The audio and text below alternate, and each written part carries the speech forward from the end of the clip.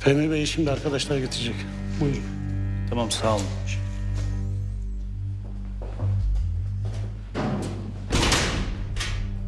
Oturalım.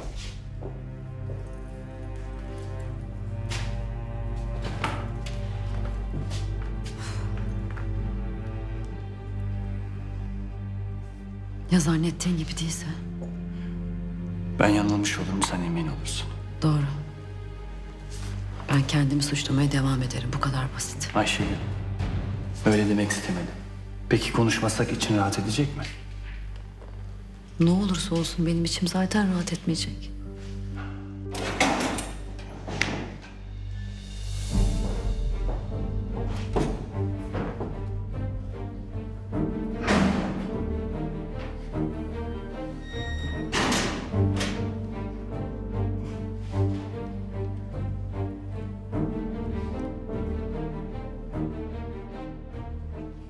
Ne istiyorsunuz?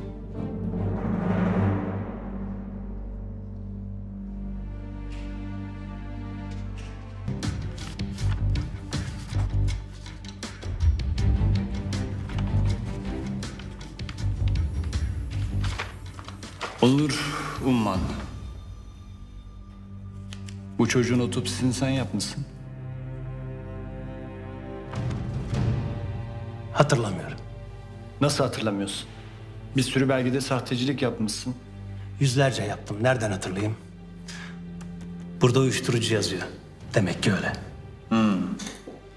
Emin misiniz uyuşturucu olduğunu? Sen kimsin?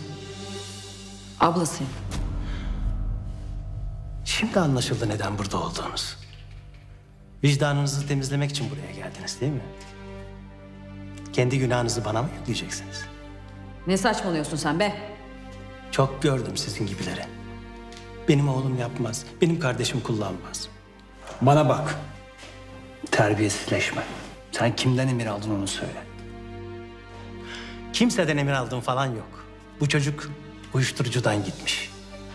Kardeşin uyuşturucunun dibine vurduğunda aklın neredeydi? Seni ha! O benim kardeşim. Allah'ın belası öldürürüm seni. Bana inanmıyorsanız açtırın mezarı görün. Bir daha da buraya gelmeyin. Ben kimsenin günah keçisi değilim. Ayşegül sakin ol. Tamam tamam. Dur tamam tamam. Tamam.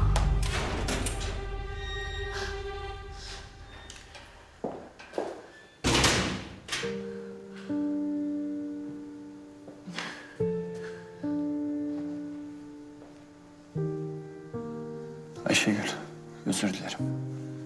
Hepsi benim hatam. Keşke sen gelmeseydin. Gerçekten özür dilerim. Öğrendin mi gerçeği?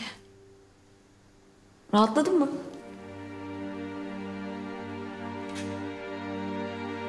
Adamın 50'den fazla dosyası var ama neredeyse yarısı şaibeli. Bu adamı konuşturmanın başka bir yolu olmalı. Mete lütfen. Sadece yardım etmeye çalışıyorum. Biliyorum. İyi niyetinden bir şüphem yok. Ama ben duyacağımı duydum. Ben günahımı biliyorum. Saçmalama Ayşegül. Senin hiçbir kabahatin yok. Adam belki suçunu sana atmak istedi. Bu adama güvenemeyiz. Beni eve bırakabilir misin? Lütfen. Tamam.